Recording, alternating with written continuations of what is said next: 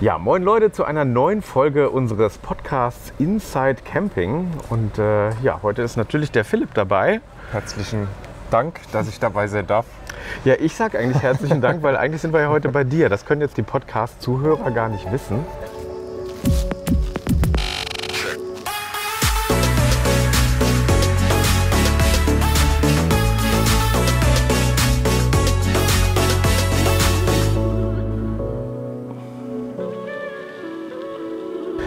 Aber äh, wir sitzen hier gerade mitten auf deiner Fläche und äh, heute ist ja auch ein bisschen was los hier, ne? Ja, ein bisschen was los. Wir haben heute jetzt äh, Sonntag, der 22.09. um 11 Uhr.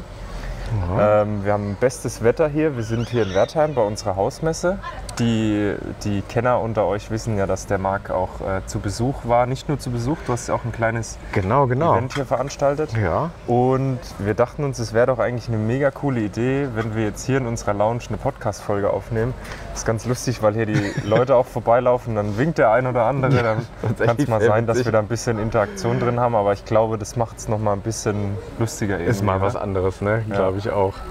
Ja, ist tatsächlich äh, richtig fette Hausmesse hier. Das, wir haben ja irgendwann im Frühjahr war ja schon mal, waren ja schon mal Outdoor Days. Und da war ich ja auch schon da, so mehr oder weniger zu Besuch. Und wenn ich ehrlich bin, war das so ein bisschen die Stichprobe, ob ich äh, das hinkriege, hier ein Follower-Treffen zu machen und wie, ob ich damit klarkomme, ehrlicherweise. Ja, das- wir dachten uns, also du hattest eh schon mal öfter Bock drauf, du Ja, hattest genau. nur nicht so Lust, äh, da jetzt so einen riesen Tamtam um dich selbst zu machen. Nee, das mag ich ja nicht. Also Obwohl, äh, ich will gerade einhaken, obwohl der Marc äh, einen Aufsteller von sich selber hat. Ne? Den habe ich aber nicht selber gemacht. Den hat, den hat der Lars von Refine Styling Ja. gemacht. Ähm, den hat er tatsächlich einfach mitgebracht und Mhm. äh, ja, der stand dann da plötzlich. Auf unserem Hausmessen-Video, das wir äh, gemacht haben, da könnt ihr auch mal so ein paar lustige Szenen zeigen, dass der Lars da ein bisschen draus gemacht hat. Glaube ich auch. Ja, das Lacher könnte ganz gesorgt. witzig werden. Ja, aber trotzdem, ich bin ja irgendwie nicht so der, ich mag diesen Personenkultkram halt eigentlich nicht so, obwohl ich einen Pappaufsteller jetzt habe.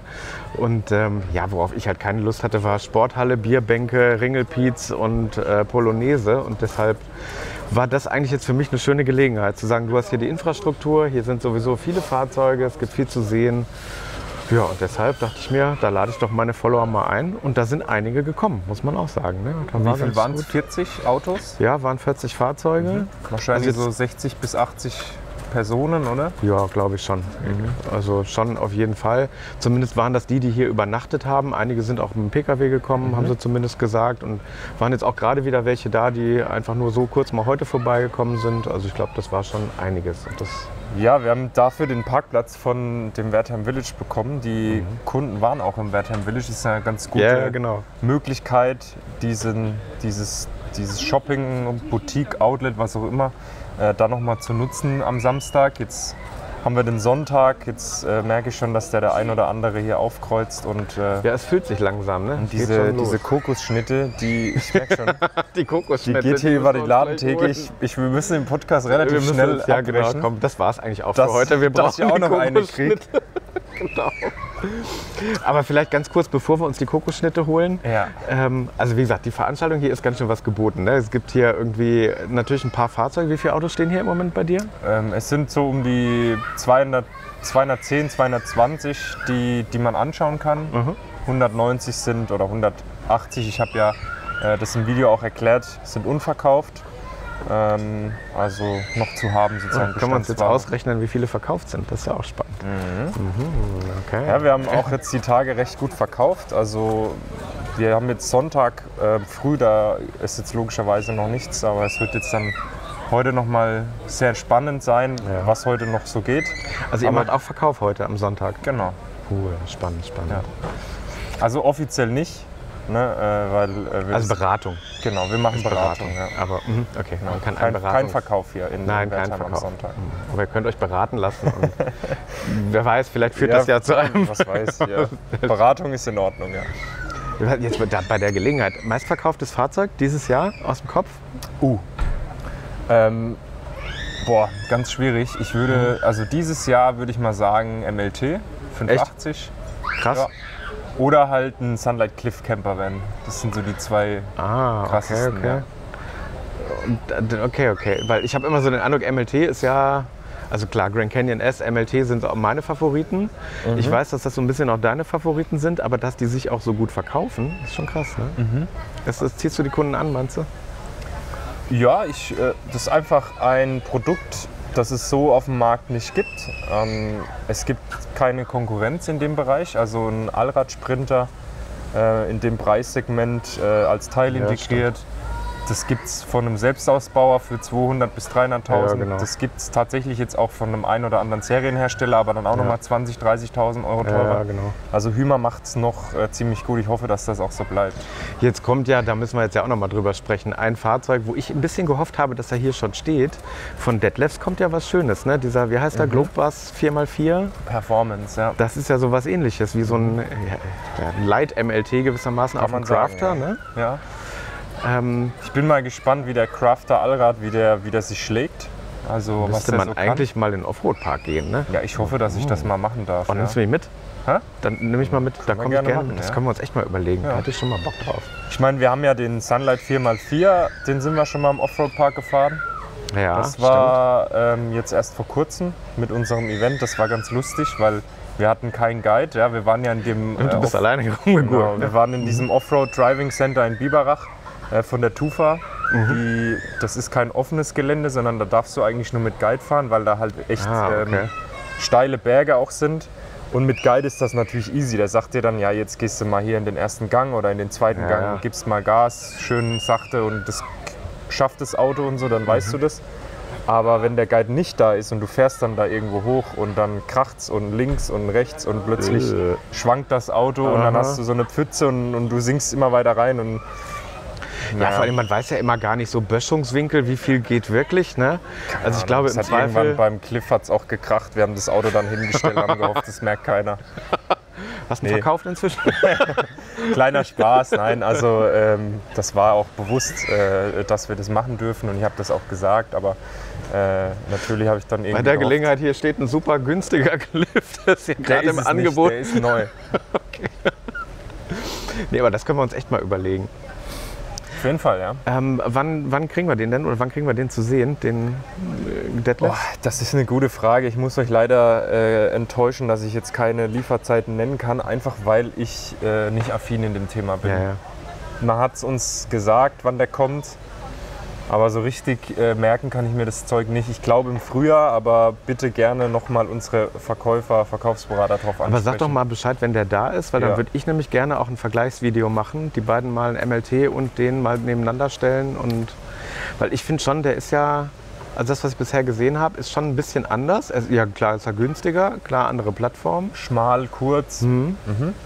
Gar nicht so schlecht. Finde ich, Ja. finde ich ein super spannendes Fahrzeug. Müssen wir echt, glaube ich, auf jeden Fall mal was machen. Und halt für 120.000 ist, glaube ich, ein starker Preis, wenn du einen MLT vergleichst mit 150 Ja, ja, eben. Das ist dann schon nochmal ein Unterschied. Ne?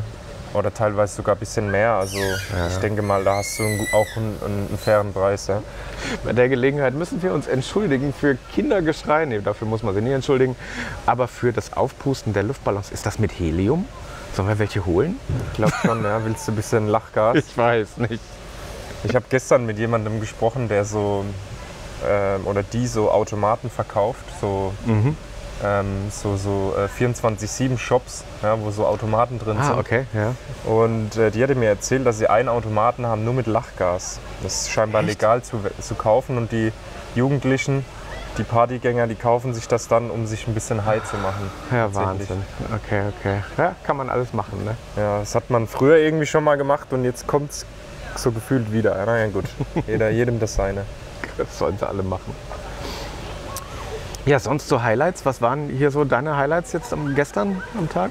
Ähm, gestern, ich muss sp- spontan sagen, äh, dass das Follower-Treffen, was wir hatten, war so Mhm. mein Ich meine, klar, wir haben gut verkauft, schöne, nette Gespräche gehabt, es war gut was los, Mhm. die Leute waren größtenteils echt sehr zufrieden, waren freundlich, waren happy, Ja, schon, waren ne? gut, gut drauf auch. Aber ich war, bin dann gestern Abend noch ähm, zu euch, also zu, rü- rübergefahren Ja, auf den genau. Stellplatz und habe noch mal ein bisschen mal so die Stimmung versucht zu erhaschen, mal so ein bisschen Hallo gesagt. Und ich fand das ein wahnsinnig Krass, cooles ne? Event. Ja. Ja. Also die Leute waren richtig cool und nett und ähm, gar nicht so äh, wie man das manchmal so, wo man da manchmal so ein bisschen Angst vor hat, dass dann jemand Ja. da das so ausnutzt und Mhm. irgendwie Hauptsache günstig und umsonst. Ja, so. genau. Aber nee, gar nicht. Also ich, Total coole. haben die Leute auch gesagt. Ne? Da haben irgendwie viele gesagt, Mensch, das wären ganz tolle Vibes da. Und du hast ja Genau. gestern Abend auch gesehen, die saßen da alle noch lange zusammen. Und irgendwie, da kannte ja keiner, also die kannten sich ja untereinander Ja. alle nicht. Also bis auf zwei, die waren tatsächlich auch ganz niedlich. Ähm, mit einem äh, mit einem Niesmann Bischof und die Nachbarn mit einem Chanson, Chan Schanzen da Chanson, und äh, die sind die beiden sind tatsächlich zu Hause auch Nachbarn, wohnen gegenüber Ach, und die geil, sind okay. beide mit ihren Wohnmobilen hier und standen hier auch nebeneinander. Mega. Und beide auch Follower, von uns beiden übrigens, von Okay, beiden Kanälen. nice. Also alles gut. ähm, und das war so allgemein. Ich fand, das, das war irgendwie total nett. Du bist da von einem zum anderen gegangen und Mhm. jeder hatte eine Geschichte zu erzählen. Alles super nette Leute. Und das hat einfach gepasst. Ne? Ich fand, war Ja. wirklich sehr, sehr schön. Ein ganz tolles Erlebnis. Ich, ich fand es auch cool, dass der, dass der. Harald Schäfer äh, von Karatec da mittendrin war. ja, stimmt. Der saß mittendrin im Stuhlkreis. Ja. War so ein riesen Stuhlkreis. Ich waren es, glaube es waren 20, 30 Camp Bestimmt, ja, ja, Campingstühle. bestimmt. Und der Harald mittendrin, das war irgendwie einfach. Also Harald ist ja hier auch aus, stellt hier auch bei uns aus Genau. ähm, mit, mit einem Karatec-Stand. Ich fand das einfach mega lustig. Auch, auch generell dieser große Kreis. Und Ja. Ich weiß nicht, ob du das noch mitbekommen hast, aber die hatten so einen selbstgemachten Schnaps dabei. Ja, das habe ich Und noch den haben die dann äh, in der Reihe rumgereicht. Das war sehr innig auf jeden Fall. Genau. Das war sehr, sehr schön. Und- und Also, wenn, wenn wir es drauf angelegt hätten, ich glaube, wir beide, wir hätten dort äh, nichts zu trinken mitbringen Nee, glaube ich auch nicht. Aber wir hätten wahrscheinlich auch dann irgendwann, also vom heutigen Tag zumindest nichts mehr mitbekommen, würde ich mal sagen. Das war auf jeden Fall, da war genug, äh, genug Getränke da. Was ich auch krass fand, hast du das gesehen, was da für Fahrzeuge standen gestern Abend? Das war ja schon, also da standen so ein paar total aufgemotzte Sprinter rum. Ja, ein paar, äh, der, der Lars hatte auch so, einen- so einen kleinen Fanclub. Ja, die, die Refine. Refine Ultras waren da, die Refine Folierungsfans also waren diesen, diesen, ähm, diesen Etrusco, diesen, diesen, also ihr müsst euch vorstellen, Etrusco, vorne Fahrerhaus in, in so einem richtig auffälligen Blau. da. So knallblau, ja. knallblau Metallic. und dann noch so ähm, neongrüne Streifen wie vom Crossover. Ja. Sah Ich so ein bisschen aus wie vom Technischen Hilfswerk.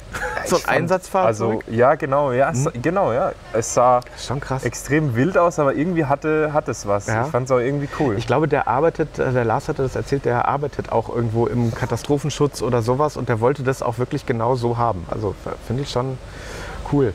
Ja, Ja. wie gesagt, ich fand die, die, die Sprinter halt krass. Da standen ja einige Grand Canyon auch. Finde ich halt auch niedlich, dass da, also da standen mindestens sechs Grand Canyon, glaube ich, rum. Vier MLTs habe ich gezählt.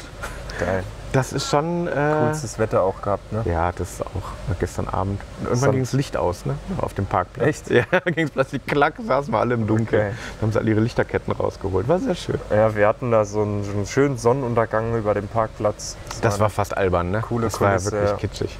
Ich meine, du hast ja auch ein paar Aufnahmen, wir werden sie, denke ich ja, mal, ein bisschen genau. einblenden können, Ja, ja. wie das gestern war. Also Wobei ich habe viel weniger gefilmt, als ich wollte. Ne? Ich habe gestern schon gesagt, ich muss heute auf jeden Fall noch mal rüberlaufen, hier ein paar Mhm. Aufnahmen machen.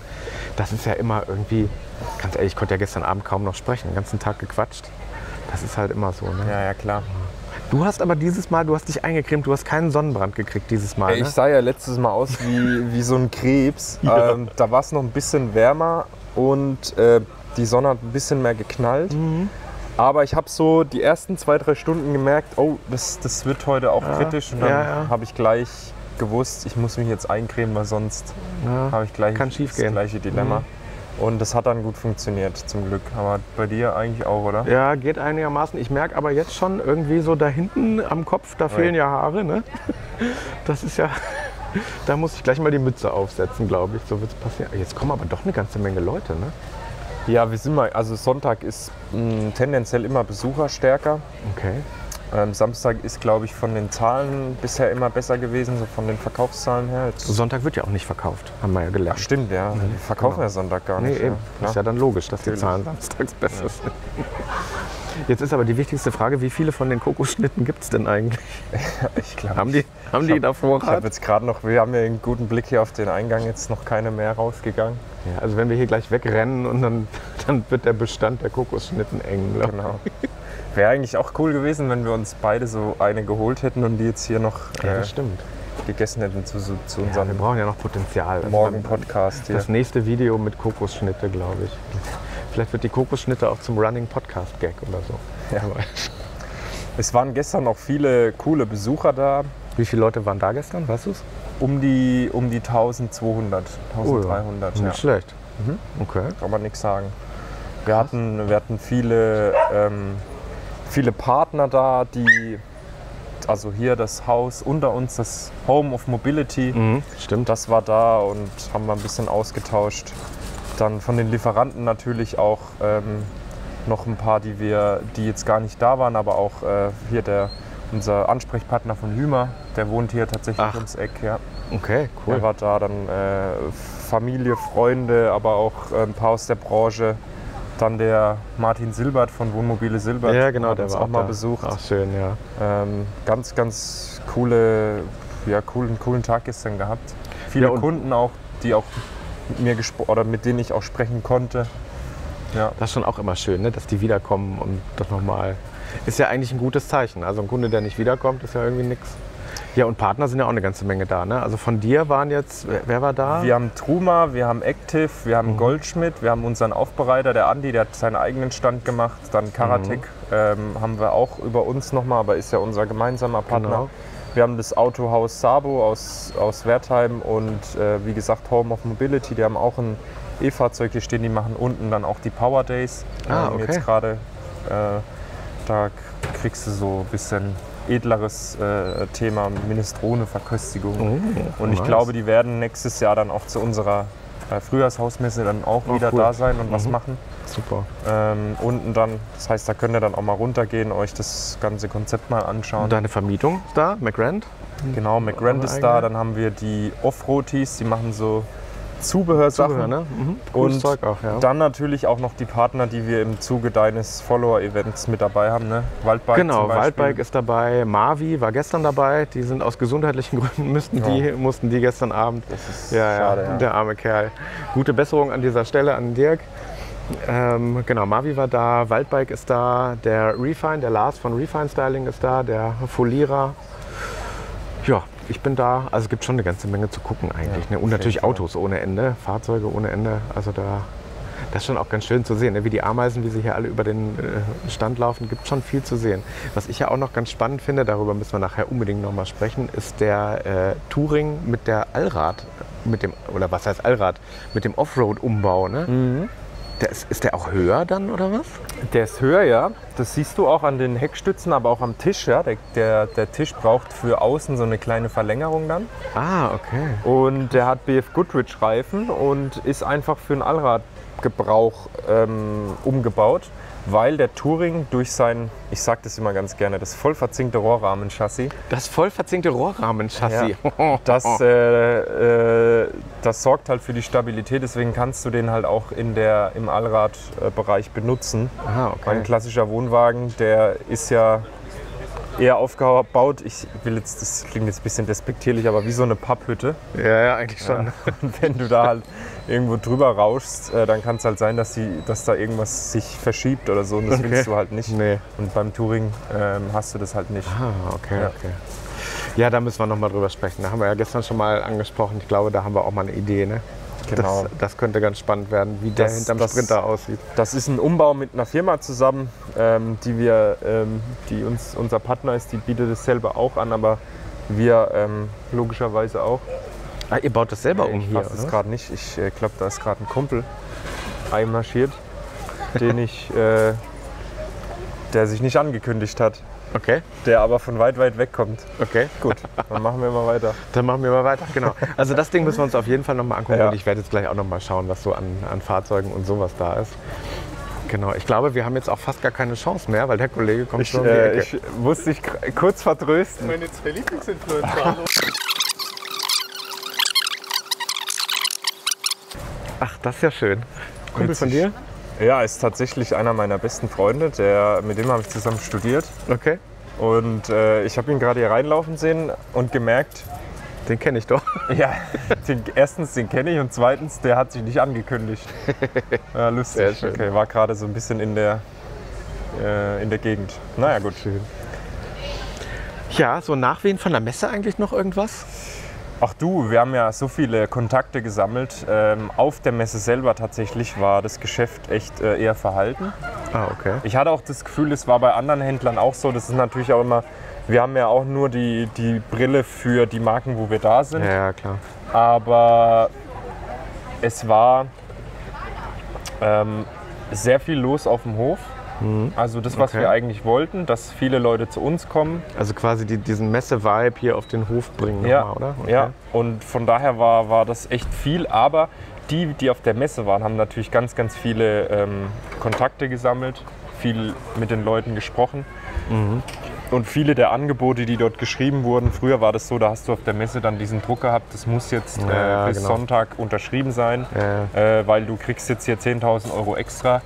okay. So war das dieses Jahr nicht mehr und die, diese Deals, die wir auf der Messe bekommen haben, die haben wir halt auch hier auf dem Hof gehabt. Ah, okay. Und ähm, deswegen äh, kommen da noch, kamen da erstens mal noch ganz, ganz viele Kunden bei rum und es werden noch viele weitere kommen. Zumindest haben sie uns das so ge- zurückgemeldet.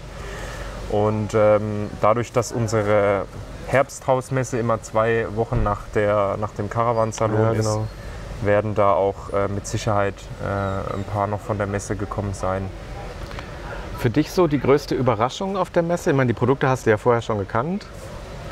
Ich muss sagen, ähm, der XXLA, ich weiß nicht, ob du das mitbekommen hast, ja, aber der, der, hat, der war ja ein bisschen schwierig bei uns äh, Mhm. zum Verkaufen. Da gab es immer Mörderrabatte drauf. Ne? Also teilweise Genau. Summen, die.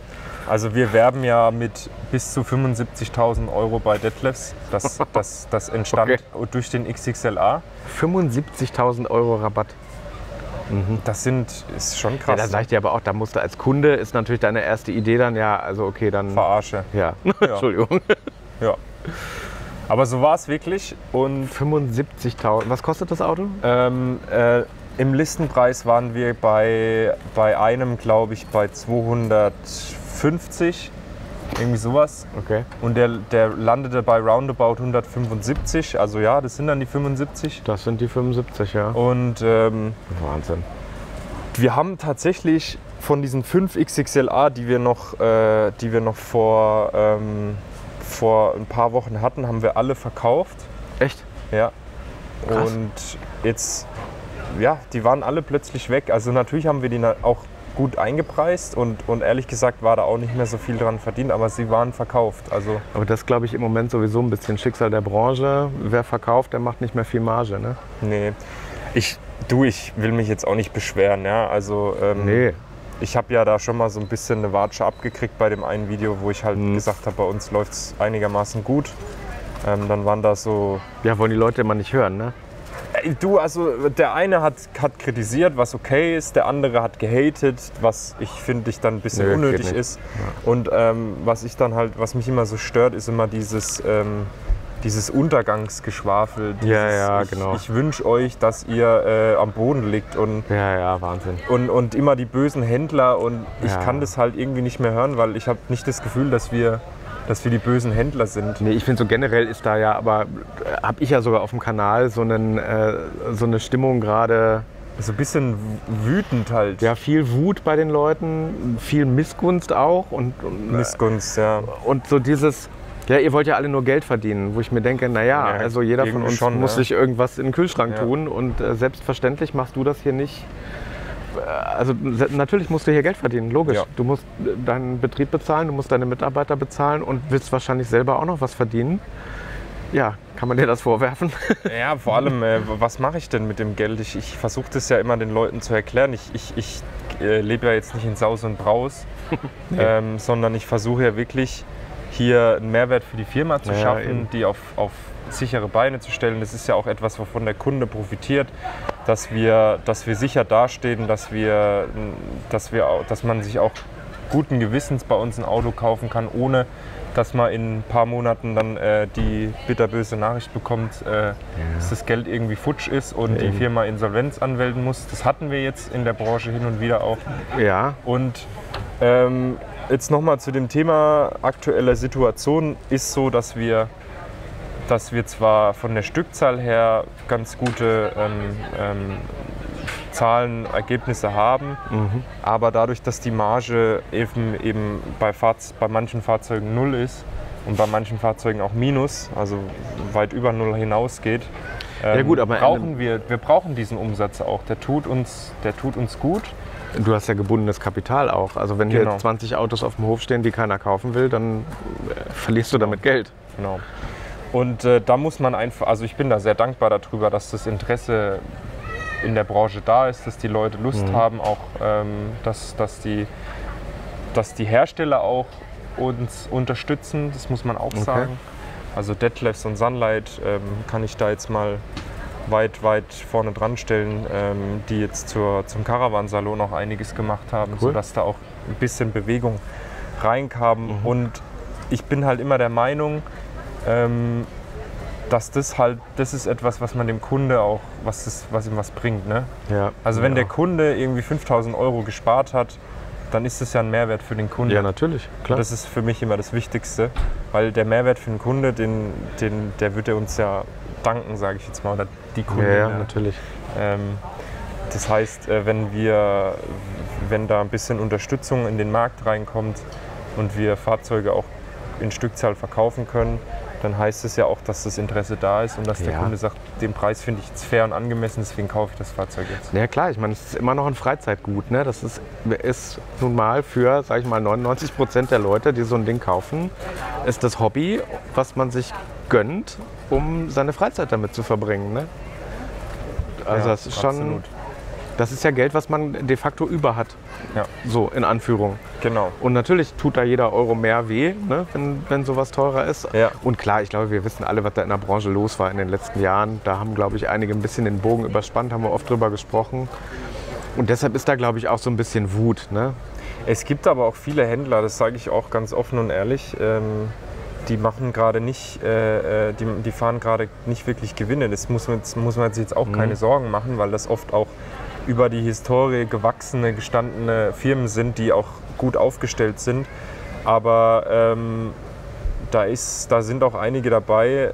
Logischerweise, wenn es hier und da mal eine Insolvenz gibt, dann wird es auch den einen oder anderen geben, der es zwar schafft, der aber trotzdem ein bisschen Ja. gerade das Geld zusammenhalten muss. Und ähm, das, ist, das gehört einfach ein bisschen dazu. Das ist das unternehmerische Risiko.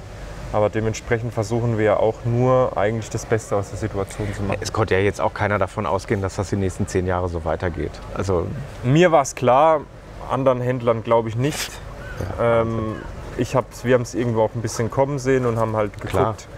dass wir unsere Kunden ein bisschen beisammen halten. Wir haben ja auch so Aktionen gemacht zu Corona, dass wir dann nicht mehr an Vermieter verkauft haben. Ja, weißt ja, du, das genau. sind halt auch ähm, Stückzahlen, die uns jetzt halt Klar. auch wieder fehlen. ja, Die waren ähm, solvent, die haben auch äh, größere Stückzahlen abgenommen, aber wir haben zum Beispiel gesagt, wir sind für den Endkunde da. Ja, da hat ja keiner irgendwie gesagt, vielen Dank dafür, sondern Nee. die haben ja trotzdem gesagt, ja, ihr, ihr habt ja viel zu wenig und die Preise sind horrend. Und war ja so. Logisch. ich möchte auch kein Dankeschön, ich will einfach nur so ein bisschen versuchen, da mal einen Einblick transparent Das sind äh, halt zu alles geben. unternehmerische Entscheidungen. Ne? Das musst du entscheiden, ob Endkunde oder Genau. Vermieter. Am Ende ist wahrscheinlich das Geschäft mit dem Vermieter das leichtere. Ne? Genau. Weil der kauft halt Gerade jetzt. Der hat jetzt gute Möglichkeiten, Ja. kann, sich, kann sich Stückzahl so. raus. Und meine, wir sind natürlich auch offen für sowas aktuell, ähm, aber Du machst ja selber auch Vermietung, aber äh, bevor wir jetzt, äh, eine Frage zur Vermietung habe ich noch. Wenn wir jetzt hier schon über, über Verkäufe reden und wie läuft's und so, Hand aufs Herz, wie viele Autos hast du verkauft gestern? gestern waren es pro Standort 10 Stück. Das ist nicht schlecht, Also oder? 20 insgesamt ist super, ja. Okay. Das ist wirklich super, kann man nicht Das, sagen. nur, dass man mal ein Gefühl kriegt. Ne? Weil Ja. ich finde das immer, man hat ja so als Kunde überhaupt kein Gefühl, was sich so dreht in so einem Laden. Und ja, ich hoffe auch, dass ich da ein bisschen transparent bieten kann. Wir, wir Händler sind da übrigens äh, sehr, sehr ähm, restriktiv, was die. Ja, Zahlen ja. angeht. Also ich versuche da immer euch so möglichst transparent alles Ja. zu geben, aber auf der anderen Seite bin ich sehr vorsichtig, weil irgendein Missgünstiger aus anderen Reihen, der kann mir das dann, ja, ja. also es kann zum Verhängnis werden. Ich hoffe Irgendeiner holt jetzt wahrscheinlich schon einen Taschenrechner raus und sagt, okay, bei 10 Stück, das heißt dies, wie viel verkauft er dann übers Jahr? Der macht zwei Messen, la la la.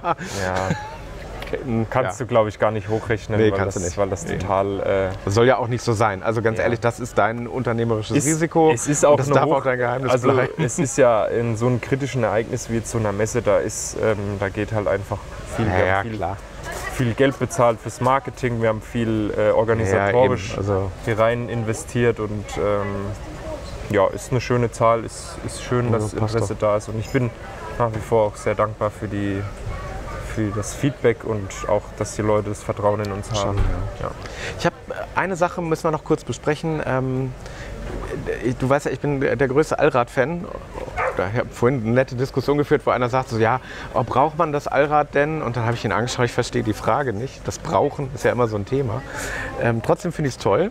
Jetzt hast du, wir haben ja gestern so ein Gespräch gehabt zum Thema Vermietung, wo du gesagt hast, dein Plan ist eigentlich Allrad in die Vermietung zu bringen auch, ne? Genau, wir haben letzt, wir haben für die Next, für, das, für die Vermietung im Jahr 25 haben wir Allradfahrzeuge gekauft, bestellt. Die müssten auch zum Frühjahr dann alle da sein. Das heißt, ihr dürft uns da gerne drauf ansprechen. Ihr dürft auch gerne schon buchen. Wir müssen nur gucken, das haben wir jetzt halt noch nicht so ganz in der Hand, dass die Liefertermine auch bestätigt werden und dass das dann auch alles wirklich zum Frühjahr hinhaut. Ähm, aber die Fahrzeuge sind auf jeden Fall, ähm, die kommen und ja, wir haben äh, einen Sunlight Cliff 4x4, den ihr fahren könnt. Ah, cool. Wir haben einen Grand Canyon S 4x4, den ihr fahren könnt und wir haben einen MLT 570 Crossover, den man fahren kann. Krass. Also Das ist aber auch spannend für die, weil ich habe jetzt ganz viele Gespräche hier auch gehabt mit den Leuten, dieses Thema Grand Canyon oder MLT. Das heißt, kannst du beide mal ausleihen für ein paar Tage und dann weißt du es hinterher. Vielleicht. zum Beispiel, ja. Sehr cool, sehr cool. Tja, dann würde ich sagen, äh, wir sollten uns jetzt langsam Gedanken über diese Kokoschnitte machen, ja ich oder? glaube auch, äh, ich muss jetzt mal den Malte aufsuchen. Ja. Ähm, Dann äh, machen wir uns auf die Suche und sehen zu, dass wir unsere Kokoschnitte kriegen. Sagen Ja. Dankeschön fürs Zuhören, auf jeden Fall. ich hoffe, ihr habt viele Einblicke bekommen. Da das ja auch ein Videopodcast ist, schreibt euer Feedback gerne mal in die Kommentare. Gerne, gerne, genau. Ihr dürft auch gerne unser Hausmessen-Video anschauen. Da habe ich noch mal ein bisschen detaillierter über Mhm. die Zahlen gesprochen, wenn euch das interessiert. Da gibt es auch den winkenden Pappmark. Stimmt, ja, da der winkende Pappmarkt. Oh. Und da sind wir auch mal so ein bisschen die Messe abgegangen. Ich meine, ein paar Ausschnitte habt ihr jetzt wahrscheinlich auch schon gesehen heute. Waren auch auf dem Follower-Treffen, da gibt es auch ein bisschen Videomaterial dazu. Also gibt es auf jeden Fall Mega was zu cool. Genau. Und äh, wie sieht's aus, Follower-Treffen? Das, das werden wir wieder machen, Das oder? machen wir wieder, würde ich sagen. Auf jeden Fall. Ich denke mal, dann müsstet ihr unbedingt hier bei Marc auch ein Abo dalassen, dass ihr darüber auch informiert Ja. werdet.